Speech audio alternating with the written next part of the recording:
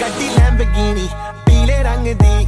ਮੈਨੂੰ ਕਹਿੰਦੀ ਏ ਚਲਾਵੇ ਸਲੋਲੀ ਉਹ ਪਹਿਲੇ ਗੇਰ ਤੇ, ਉਹ ਜਦੋਂ ਮੋੜਦੀ, ਉਹ ਮੈਨੂੰ ਲੱਗਨੀ ਏ, the one and only ਆਈ ਆਈ ਵਿਚਾਰੇ ਮੁੰਡਿਆਂ ਦੇ ਦਿਲਾਂ ਦੀ ਤੂੰ ਕਾਤਿਲ। ਬਖਾ ਦੇ ਮੈਨੂੰ ਕਿਵੇਂ ਜਾਵੇਂਗੀ ਤੂੰ ਫਾਸਟ ਰੱਬ ਦੇ ਤੋਂ ਗੈਸ ਨਹੀਂ ਮਿਲੇ ਅਬੇ harder a bit harder I'm a